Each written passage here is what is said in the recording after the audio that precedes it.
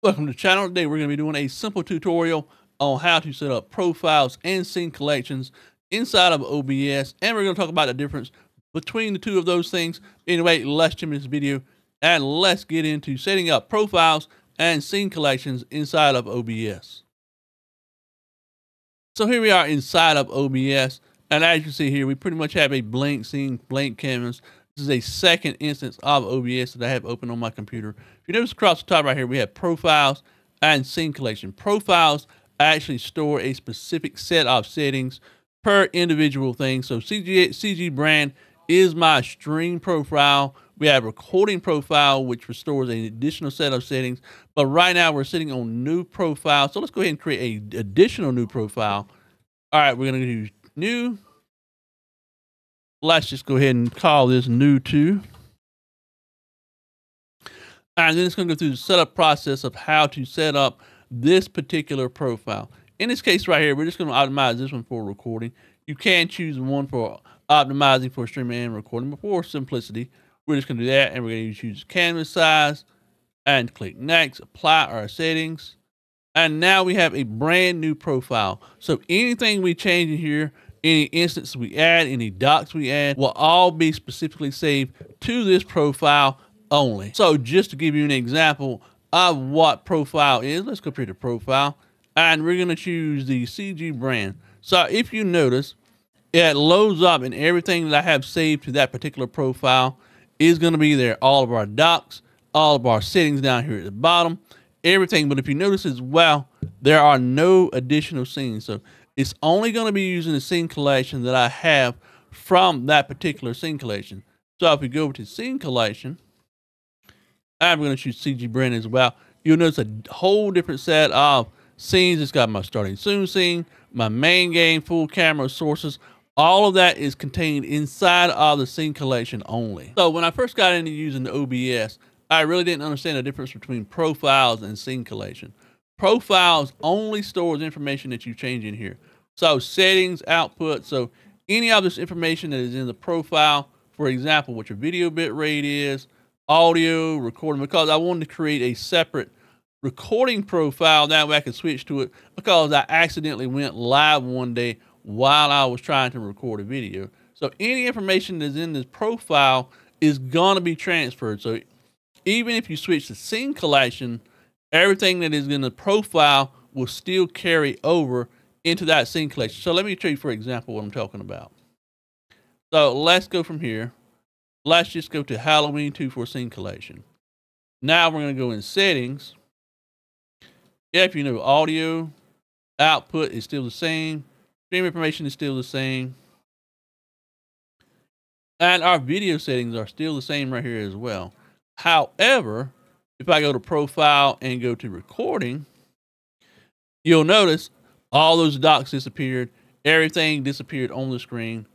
And now if we go into settings, video output, our output scale resolution is 1080. Our video bit rate is changed. And everything is different inside of here.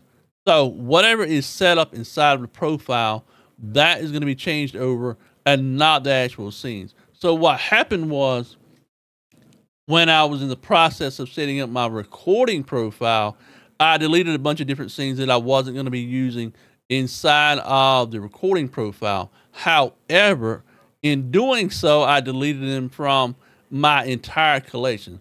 So what we need to do whenever we're creating a new profile is we want to create a new scene collection as well. So let's go back to our new profile. And we're going to go new. So this is going to create as a new blank scene collection. So let's just go scene two. So anything we do inside of this specific scene collection is going to stay in this scene collection so only. Okay, so let's say we want to create a new scene inside of this scene collection. And in this case right here, I'm just going to use a game. So let's go to window capture. Because I'm only on one monitor, I have to use window capture. So let's go to window capture. Let's go create new, and we're going to choose our window. Hunter call the Y, and in this case right here, I'm actually going to have to switch. That way it will actually capture the window. So let's click OK. So there is our new window capture, our new game that we are using inside of OBS. So I'm going to lock that window so I don't accidentally drag it around. So now we have this new source inside of this scene collection. So let's just go here. Let's go to scene collection. And let's just go to recording. And as you see right here, none of that transferred over because it is specific to that specific scene collection. So let's go back to scene collection. And we're going to go to scene two. Oops.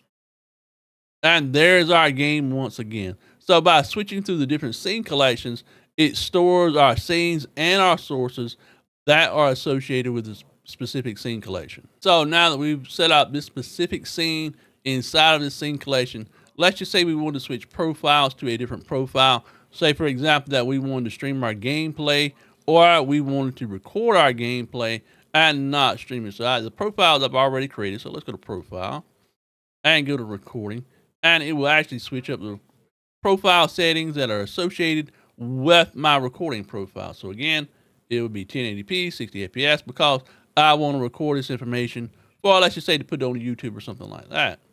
And it records all that information inside of there.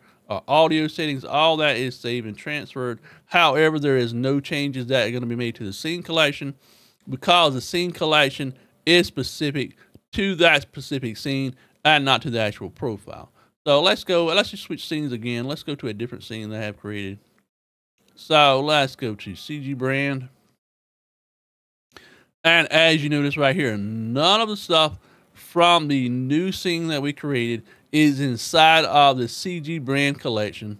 And that is because that specific setup is for that scene only. Okay, so now let's go back to our new profile. Let's go to new profile change scene collection back to our new scene as well. And now that we're back on our new scene and our new profile, this is the new scene we've created. This is the new profile we created. And these settings will be specific to each profile and each scene collection. I wish when I switched over to OBS, I would have read up on how to do this and not accidentally deleted everything inside of the scene collection. But now this is just a simple way that you can transfer scenes, transfer profiles for different things you want to be doing. For example, we're streaming on YouTube or streaming on Twitch or whatever streaming platform you want to do. You can have specific profiles with things set up for that. And then you have those specific scenes that can be associated for each collection. For in this case right here, since it's close to Halloween, I have a specific scene collection that is set up for Halloween. So let's just go scene collection. And we're going to go to Halloween. And that changes everything. We've got our little bats on the screen. We've got our little jar. We've got spider webs for our Halloween. And in my normal scene collection, whenever it's not Halloween or a specific holiday, it's for my CG brand, which is uh, just a basic overall layout for the stream. And there we go. That is how we create a new profile and a new scene and what the differences is between the two. Profile store your information through settings. Our scene collection stores the different scenes. Whenever we switch profiles, it does not change the scene. It only changes the information in regards to the settings that we have set up for that specific profile. If we change scene collection, however, it changes everything inside of that world. We have a starting soon screen, a main game, full game in my case. But whatever it is, I wish I, like I said, I wish I would have read up on this before I started messing around creating profiles and scene collections. But this is a simple tutorial. Hope you enjoyed the video. Look forward to seeing you in the next one. And until next time, much love, peace out, and we'll see you soon.